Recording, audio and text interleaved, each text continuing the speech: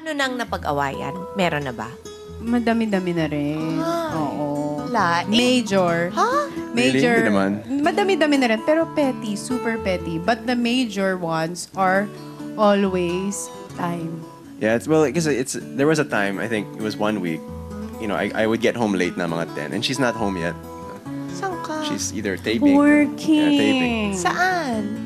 So, PBB. So, you know, you know, me now being a husband, I don't want her on the road 2 a.m. You know, I, I'm get a little bit weary. So where are you? Where are you? And then she keeps saying, you know, parang stop texting. I'm working. You know. So, but and then so it just came to a point where I just said, you know, we need to find a balance also because. Ako naman naaasar. Kapag nagte-text siya ng, where are you? Na ano kasi ako, syempre, di ba, when you're doing like, uh, ito now, the soap, I wanna get into the character. Kasi this is my like, first time in so many years that I'll get into soap. And if I get text na, where are you? Nawawala ako dahil, ay, kailangan ko palang umuwi. So I will sometimes say, wag mo na akong inaano. Feeling ko ninanag niya ako, ganyan. Pero isang text lang naman. Pero nababother talaga ako, so yun. Ako yung inag ako. Ba't ganyan? Oh, tapos.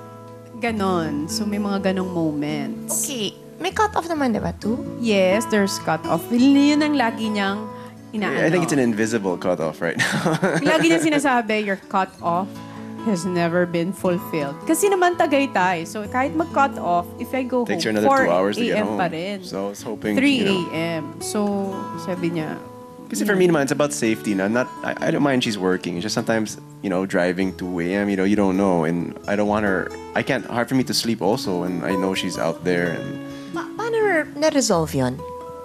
How do you resolve time when in our profession, time talaga eh.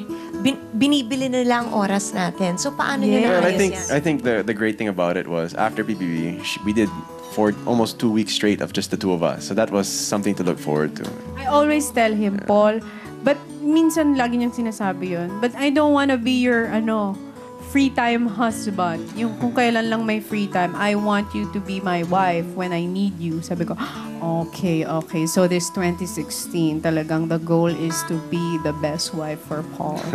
No, but she's doing a great job.